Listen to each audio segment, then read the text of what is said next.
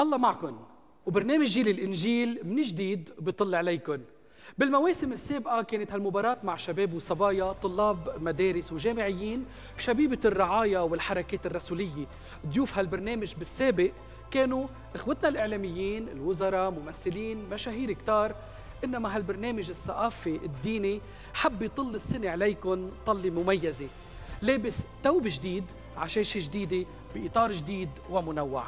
كلكم بتعرفوا إنه ربنا بيستاهل. شريحة كبيرة من المشاهدين بيستاهلوا إنه نقدم لهم برنامج ثقافي بيبلي يلهمهم يستفزهم مرات يحكيهم بأسلوب جديد. البابا الكبير القديس يوحنا بولس الثاني كارول فوشتيلا كان كل همه إنه كنيسة المسيح تقدم للمؤمنين أساليب جديدة بالتعليم. الناس تطلع من البرامج المبتذلة. مش مسموح نضلنا ننق وننتقد البرامج الهابطة والملوثة إنما المطلوب إنه نقدم للناس الشيء اللي هن مشتاقين يحضروه وقلوبهم لوحدها رح تصير مع الوقت تميل لإله اسمحوا لي أولا حيي وأشكر ضيوفنا المتبرين وهلأ بتعرفوا ليش. الام تريزا كانت تقول بشكر اخوتي الفقراء اللي اولوني شرف خدمتهم. وأنا الليلة بدي أشكر ضيوفنا اللي أولونا شرف استضافتهم. ليش عم بقول هالشيء لأنهم هن كمان شهود وهن المساكين والفقراء بالمعنى الروحي اللي بيعطيه الرب خاصة بإنجيل التطويبات.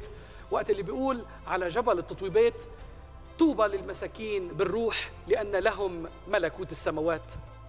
مين قال إنه حركة الشهادة بالعالم مقتصرة على اللي بينتموا للحركات الرسولية والجماعات المسيحية؟ بيسوى اليوم نقول إنه أول المسؤولين عن هالحركة هن اللي استودعوا كثيرا. من اؤتمن على الكثير يطالب بأكثر. كل قادة هالمجتمع مؤتمنين على هالكلمة كلمة الرب. كل حدا منهم ضمن اختصاصه وضمن الموهبة أو الوزنه اللي ربنا هدي إياها ولا مرة جيل الإنجيل كان همه يكشف قديش المتبارين بيعرفوا. إنما كان هدفه إنه المشتركين ومن خلالهم كل المشاهدين يكبروا مش بس بالقامة إنما بالنعمة والحكمة قدام الله والناس.